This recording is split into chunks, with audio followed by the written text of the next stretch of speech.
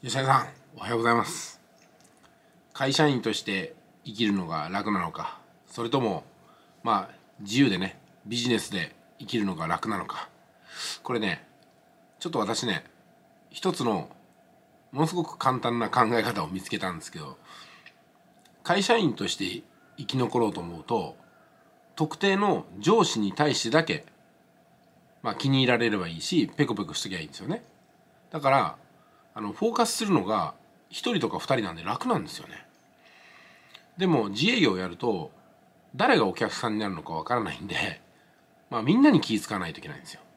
であと理不尽なクレームってありますよね。お前んとこの商品全然儲かんねえじゃないかみたいなことが来たりとか買ってもないのに詐欺だって言われたりとかね。でも少なくとも会社組織にいたら会社の決まりが守れてないよとかお前納期がちゃんと守れてないよとかこのレポートちょっと書き方幼稚すぎないっていうふうに理屈があるんですよね。では理不尽なあのクレームってのはないわけですよ会社員でやると。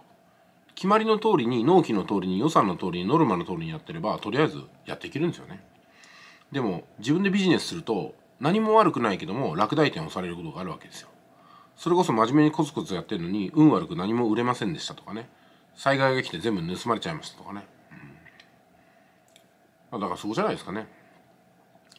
だから会社員として上司が気に入らない会社の方針が気に入らないんでビジネスに入ろうとする人はいやもっと多くの理不尽に 出会いますよと。それこそ360度全部が敵になることもあるよと。でも会社に属している限りはまあ極端な話ね上司とか先輩に嫌われなければあと誰に嫌われてもお客さんに嫌われてもやっていけるわけですよね。それこそ